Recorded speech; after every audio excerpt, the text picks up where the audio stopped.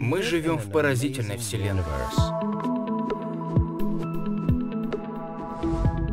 Вы когда-нибудь задумывались, почему она существует? Почему вообще что-либо существует?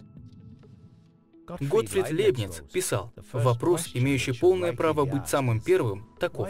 Почему существует нечто, а не ничто? Он пришел к выводу, что объяснение может быть найдено в Боге. Но разве это разумно? У всего, что существует, есть объяснение его существования.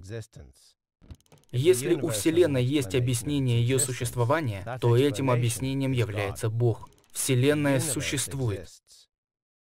Из этого логически вытекает, что объяснением существования Вселенной является Бог. Логика этого аргумента неопровержима.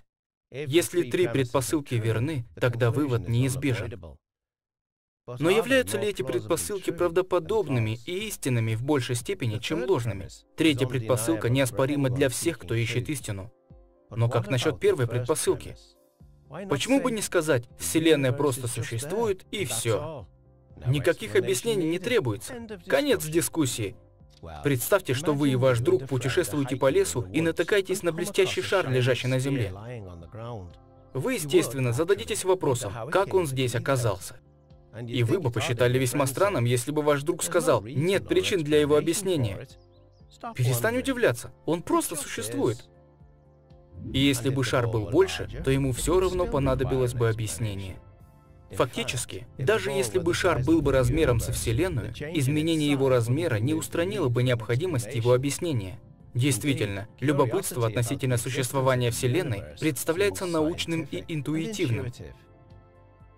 Кто-то может сказать, если все, что существует, нуждается в объяснении, то как насчет Бога? Разве Он не нуждается в объяснении? И если Бог не нуждается в объяснении, тогда почему Вселенная нуждается в объяснении?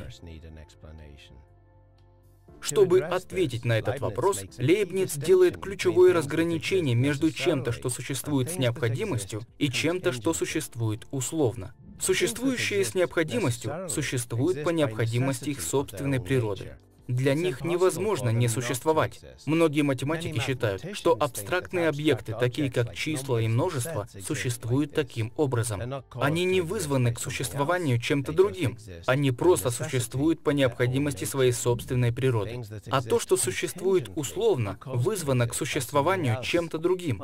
Большинство из того, с чем мы знакомы, существует условно. Они не должны существовать. Они существуют только потому, что что-то другое стало причиной их существования существования. Если бы ваши родители никогда не встретились, вы бы не существовали. Нет оснований считать, что окружающий нас мир должен существовать. Если бы Вселенная развилась иначе, не могло бы быть звезд или планет. Логически возможно, что вся Вселенная могла бы не существовать. Она не существует с необходимостью. Она существует условно. Если Вселенная могла не существовать, то почему она существует?